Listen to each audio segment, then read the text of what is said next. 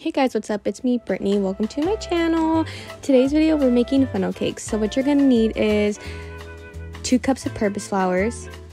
What? Two cups of all-purpose flour, uh, a half a cup of sugar, um, one teaspoon of ground cinnamon, and then a half a teaspoon of salt for all the dry ingredients.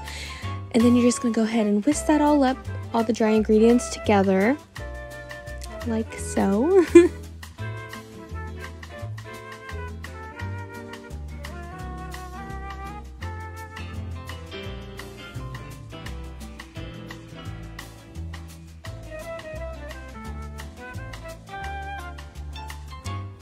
Now that all your dry ingredients are mixed together, you can go ahead and add that milk, your two large eggs, and whisk that up together.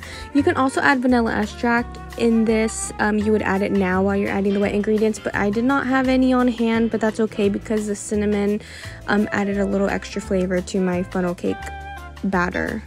So you're just gonna wanna go ahead and mix that all up till you get a nice consistency and I'll show you what the consistency looks like as soon as I'm done whisking the batter. Also, this is my first baking channel or cooking channel. I mean, video. I'm planning on doing these. I have an Instagram dedicated for this and as well as a TikTok and I will have them linked down below. So this is the kind of consistency you're going to want your funnel cake batter to look like. Pretty runny, Then I went ahead and made a strawberry puree. I didn't look up a recipe, I just added some strawberries and sugar to a boiling pot and kind of mixed it together. This was super duper sweet. If you love sweet stuff, awesome, but if you're not a really sweet person, I'd avoid this part. So this is the tricky part that I was telling you guys about. It is so hard to create a funnel cake uh, I don't know, view. If there was a template for this, that would have been awesome. But this is so hard. Like, getting it right, I only ended up making two funnel cakes that I was proud of. And not even proud of, okay? It was just decent. Um, I kind of let these um, cook for three minutes on each side uh, or until you can see golden brown. You're going to want to keep your oil pretty low so it's easier for you and it doesn't pop up on you. So if it has to cook longer, then it has to cook longer.